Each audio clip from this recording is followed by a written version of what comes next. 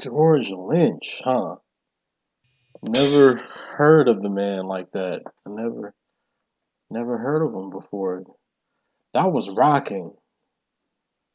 They say it was like a like a riffy, very riffy song, man. He went through all types of different here's and there's, man. Like he was just kind of like doing his thing.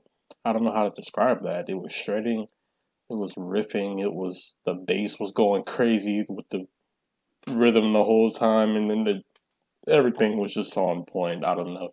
I don't know how to describe my feelings and opinions about it. It was just rocking. It's rocking hard. Uh, does he have any other great songs? Yeah, thank you for your request.